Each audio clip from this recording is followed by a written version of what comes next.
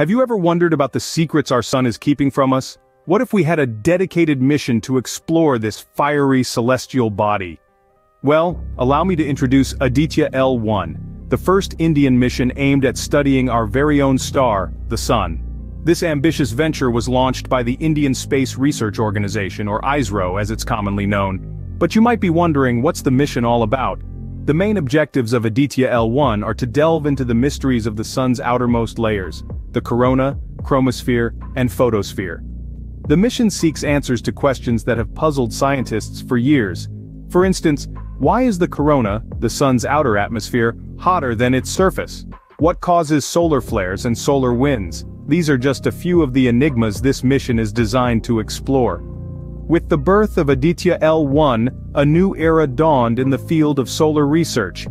The journey from an idea to a full-fledged space mission is no small feat. The Aditya L1 mission, a brainchild of the Indian Space Research Organization or ISRO, traces its roots back to 2008. It was then that the flame of this ambitious project was first kindled. Over the course of 14 years this small spark grew into a roaring fire. The mission was not without its challenges of course. Technological hurdles, budget constraints, and the sheer audacity of the project's scope all pose significant obstacles. But with each challenge faced, a milestone was achieved, a testament to human perseverance and ingenuity. The initial concept, a modest low-Earth orbit satellite, evolved over time.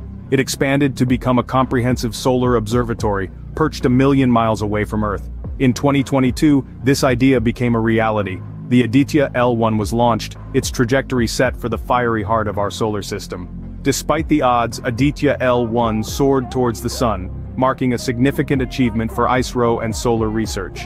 What has the Aditya L1 mission brought to the table in the world of solar research? Since its launch, this groundbreaking mission has been a veritable beacon in our pursuit of solar knowledge. Currently stationed at the L1 point, Aditya L1 offers us a novel, uninterrupted view of our sun. Its contributions to solar research are manifold. For one, Aditya L1 has provided us with invaluable insights into the sun's corona, a region that has long perplexed scientists. Additionally, it has helped us better understand solar flares and their potential impact on Earth.